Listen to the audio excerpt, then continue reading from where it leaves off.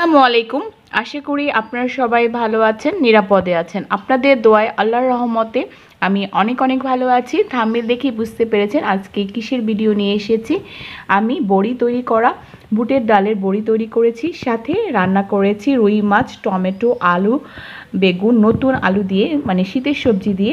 খুবই টেস্টি একটা রান্না। তো আপনারা সম্পূর্ণ ভিডিওটি দেখবেন। আর আমার চ্যানেলে বিউলি বা মাসকালাই ডালের বড়ি আর গয়না বড়ি রেসিপি রয়েছে। আমি ডিসক্রিপশন বক্সে লিংক দিয়ে দিব। চাইলে আপনারা দেখে নিতে পারেন। তাহলে দেখতে থাকুন সম্পূর্ণ বুটের ডাল আমি চার ঘণ্টা ভিজিয়ে পানি ঝরিয়ে নিয়েছি। যাচ্ছে। এরকম হবে। এখন এই যে ব্লেন্ডার নিয়েছি ব্লেন্ডারে আমি এটা ব্লেন্ড করে নেব। আর অবশ্যই মনে রাখবেন, কোনো পানি দেওয়া যাবে না। এ পর্যায়ে কোনো পানি দেওয়া যাবে না। আমি ব্লেন্ডার করে নিচ্ছি। এই যে ব্লেন্ডার করে নিয়েছি, এরকম হয়েছে। এখন ভালোভাবে ফেটিয়ে নিতে হবে। আমি কাঁটা চামচ দিয়ে ভালোভাবে ফেটে নিচ্ছি। এই যে কাঁটা চামচ দিয়ে বিট করে নিয়েছি, এরকম হয়েছে। একটু হালকা হয়ে যাবে আগের থেকে ডালটা। এখন আমি এরকম একটা গ্লাস নিয়েছি। এই যে এর মধ্যে নজল ভরে নিয়েছি। এই যে একটা বাটিতে নর্মাল পানি নিয়েছি। এটা ব্যাটারটা ঠিক হয়েছে কিনা এই পানিটার মধ্যে দিয়ে দেখবেন। যদি এটা ভেসে ওঠে তাহলে ভাববেন যে ব্যাটারটা ঠিক আছে।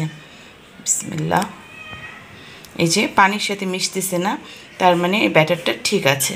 যে নজিল দিয়ে বড়ি আকারে দিয়ে নিচ্ছি যদি আপনারা হাত দিয়ে পারেন হাত দিয়েও দিতে পারেন। খুব সুন্দর লাগছে। রোদে দিয়ে দিয়েছি এখন সকাল প্রায় নয়টা। তো মোটামুটি এর মধ্যেই ভালোভাবে শুকিয়ে যাবে, ইনশাল্লাহ। প্রথম দিন বড়িগুলো শুকানোর পর তুলে ফেলতে হবে, নাহলে বেশি শক্ত হয়ে যাবে তুলতে গেলে পরে ভেঙে যেতে পারে।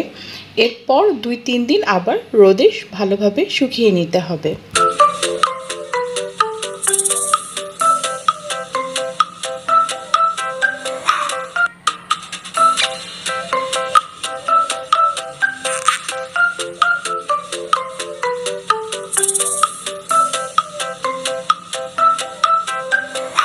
তেল ছাড়া শুকনো কড়াইতেই বড়িগুলো ভেজে নিব।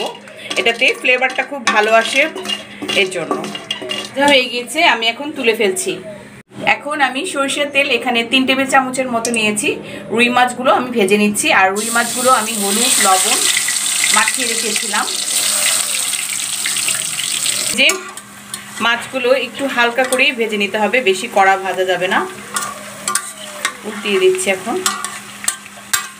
আর হলুদ লবণ, একটু মরিচের গুঁড়া আর লব লেবুর রস দিয়ে আমি ম্যারিনেট করে রেখেছিলাম দু থেকে তিন মিনিট। এরপর ভেজে নিচ্ছি। এই যে মাছগুলো এখন তুলে নিচ্ছি। এখন আমি রসুন কুচি দিচ্ছি। যে তেল দিয়ে মাছটা ভেজেছি সেই তেলেই একটু লালচে করে ভেজে নেব রসুনটা। এখন দিচ্ছি এক টেবিল চামচ পেঁয়াজ বাটা। এই যে একটু মিশিয়ে নিচ্ছি তেলের সাথে। সামান্য পানি অ্যাড করছি। আমি মশলা এখন দিব, যাতে মশলাটা না পুড়ে যায় সেজন্য। হলুদের গুঁড়া দিচ্ছি, অর্ধেক চা চামচ। মরিচের গুঁড়া দিচ্ছি, অর্ধেক চা চামচ।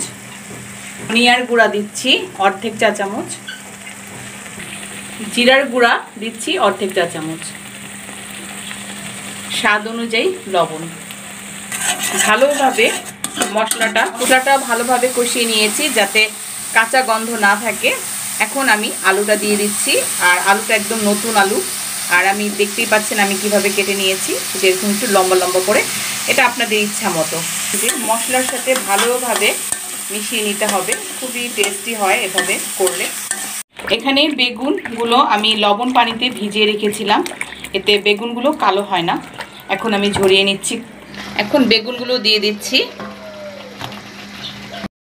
বেগুনটাও আমি মশলার সাথে ভালোভাবে কষিয়ে নিচ্ছি। আমি দুটো কাঁচামরিচ আর টমেটো অল্প দিয়েছি। এখন আমি গরম পানি ছয় কাপ দেব আলুটা আর বেগুনটা সিদ্ধ হওয়ার জন্য। ঢেকে রাখব যত পর্যন্ত আলুটা বেগুনটা সেদ্ধ না হয়।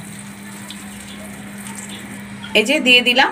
আর পানিটা একটু বেশি পরিমাণ দিয়েছি। যেহেতু আমি বড়ি দিব, বড়িতে আবার পানিটা একটু টেনে নিবে।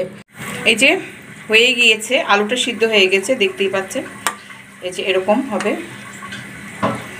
এ পর্যায়ে আমি কিছু জলপয় দিচ্ছি, টক টক হবে। এখন মাছ দিয়ে দিচ্ছি, ভাজা মাছ। আর যারা ভাজা মাছ পছন্দ করেন না, কাঁচা মাছ পছন্দ করেন তরকারিতে খেয়ে, তারা না ভেজে যে এই পর্যায়ে নুন, হলুদ মিশিয়ে দিয়ে দিবেন। এখন দিচ্ছি টমেটো। আর দুটো কাঁচামরিচ দিলাম। এ পর্যায়ে আমি বড়িগুলো দিয়ে দিচ্ছি। পরে আমি ধনিয়া পাতা দিয়ে দিচ্ছি। এটা আরও টেস্ট হবে মার্শাল্লাহ আর অনেক সুন্দর হয়েছে, ইয়ামি হয়েছে। হয়ে গেল আমার বড়ি দিয়ে রুই মাছ, বেগুন, আলু, টমেটো। খুবই সুন্দর হয়েছে। আর যারা ঝোলটা একটু কম খেতে চান, তারা পানিটা একটু কম দেবেন। আমি আবার একটু ঝোল ঝোল পছন্দ করি, সেজন্য এরকম পানি দিয়েছি। পরিবেশন করে নিলাম মজাদার বড়ি দিয়ে রুই মাছ, বেগুন, আলু, টমেটো। দেখতে খুব সুন্দর লাগছে আর খেতেও অনেক মজা। এই শীতকালে এই রেসিপিটা সবাই একবার হলেও ট্রাই করবেন। আজ এই পর্যন্তই। আমার ফ্যামিলির জন্য দোয়া করবেন। আল্লাহ হাফিজ।